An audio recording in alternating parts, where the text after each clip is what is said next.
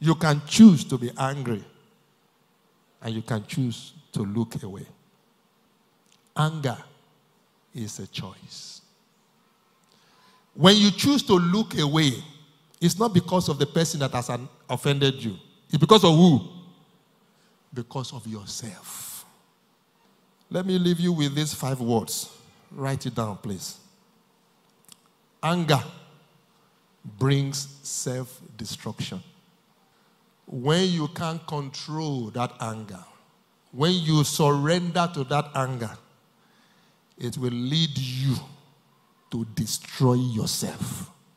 Number two, anger turns glory to shame.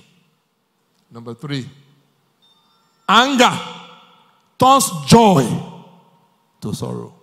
What has been sweet before, anger will turn it to sorrow. Many homes today that have gone into sorrow, trace it back. You will find anger at the root of it.